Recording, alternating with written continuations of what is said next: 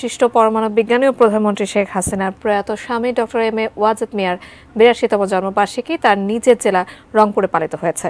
এ উপলক্ষে সকালে রংপুরের পীরগঞ্জ, ফতেপুরে ডক্টর এম এ ওয়াজেদ মিয়ার কবর জিয়ারত ও সেখানে শ্রদ্ধা নিবেদন করে বিভিন্ন রাজনৈতিক ও সামাজিক সাংস্কৃতিক সংগঠন। জেলা আওয়ামী লীগ, ছাত্রলীগ ও ডক্টর ওয়াজেদ স্মৃতি সংসদের নেতৃবৃন্দ সহ রংপুর মেরিন একাডেমির শিক্ষক কর্মকর্তা এবং বেগম রোকেয়া বিশ্ববিদ্যালয়ের উপাচার্য অধ্যাপক ডক্টর হাসিবুর রশিদ, উপ উপাচার্য প্রফেসর ডক্টর শরীফা সালোয়া ডিনাও ছিলেন এই কর্মসূচিতে। দিনে অন্যান্য কর্মসূচির মধ্যে রয়েছে দোয়া ফাতেহা পাঁচ ও দুস্থদের মাঝে খাবার বিতরণ।